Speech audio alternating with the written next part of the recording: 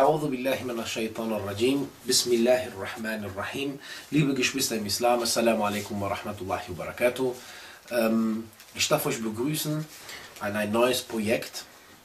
Ein Projekt, bi'idhnillahi ta'ala, mit viel Khair. Äh, für mich, für euch und für jeden, der sich das anschaut.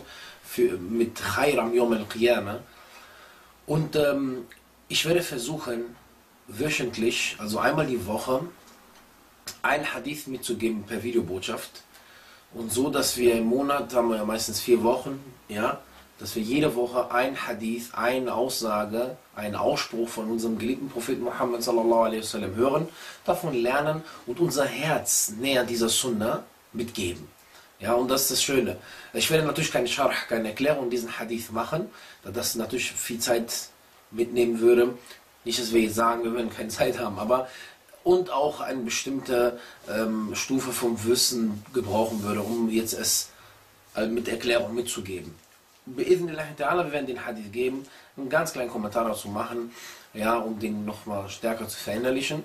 Und wir werden nutzen oder wir werden versuchen, Nutzen von diesem Hadith zu tragen. Und äh, somit fangen wir diese Woche ähm, mit dem ersten Hadith, den wir äh, zitieren möchten. Der Prophet sallallahu alaihi wasallam sagte, ein Mann ging auf der Straße und sah einen Baumast. Daraufhin sagte er, bei Allah, ich werde ihn beseitigen, damit sich die Muslime nicht daran verletzen können. Für dies ist er, Paradies, ist er ins Paradies eingetreten. Ein Hadith bei Sahih Muslim. Ja, ähm, ein schöner Hadith, ich wiederhole ihn nochmal.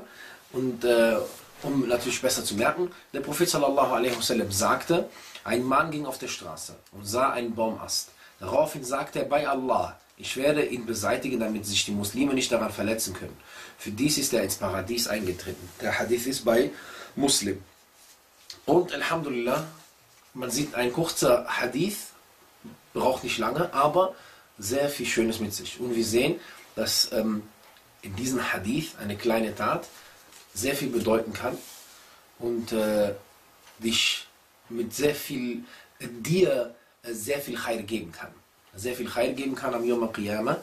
Und dieser Hadith ist für diese Woche als Anfangswoche gedacht.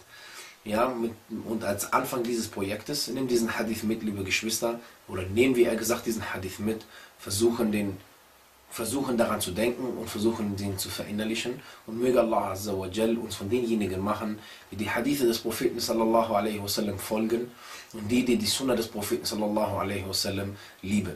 Barakallahu fikum und inshallah ta'ala nächste Woche mit noch ein Hadith, der uns Nutzen im Leben bringt. Barakallahu fikum. Wassalamu alaikum wa rahmatullahi wa barakatuh.